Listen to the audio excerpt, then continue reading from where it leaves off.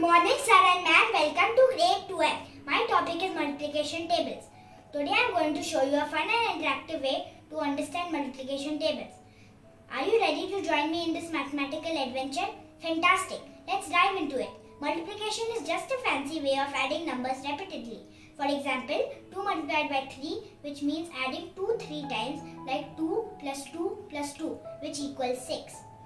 Here we have a magical box filled with numbers that can roll up and down like a carnival ride.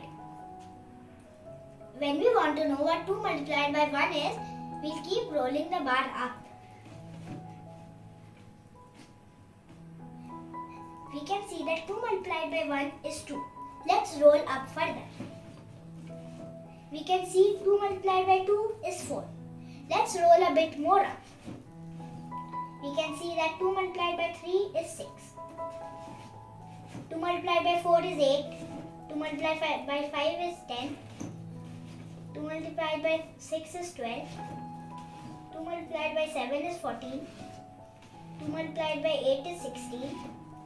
2 multiplied by 9 is 18. And 2 multiplied by 10 is 20. Let's try out for number 3.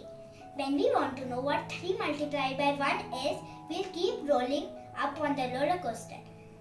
Uh, ready? Here we go. 3 multiplied by 1 is 3. Let's roll up further. 3 multiplied by 2 is 6.